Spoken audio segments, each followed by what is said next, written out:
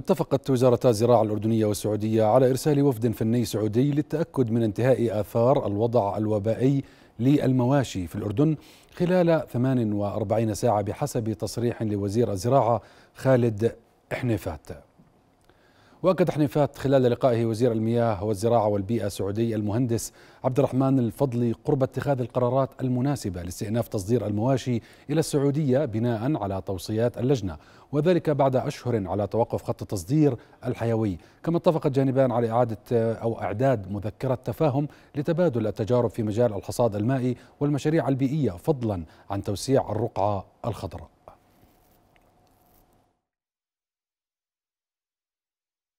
القضية المرتبطة بتصدير الخراف الأردنية إلى أشقائنا بالسعودية. اتفقنا على إرسال وفد آه، فني آه، من الإنتاج الحيواني لدى أشقائنا في السعودية خلال 48 ساعة إلى الأردن وسيصل إلى الأردن ودراسة آه، كافة الإجراءات الفنية المرتبطة بالحمى القلاعية في الأردن والتقارير المرتبطة بمنظمة صحة الحيوان. وبناء على ذلك سيكون هناك إن شاء الله قرار سريع جدا يخدم الإنتاج الحيواني في الأردن وبالتالي ينعكس على مربي المواشي في الأردن.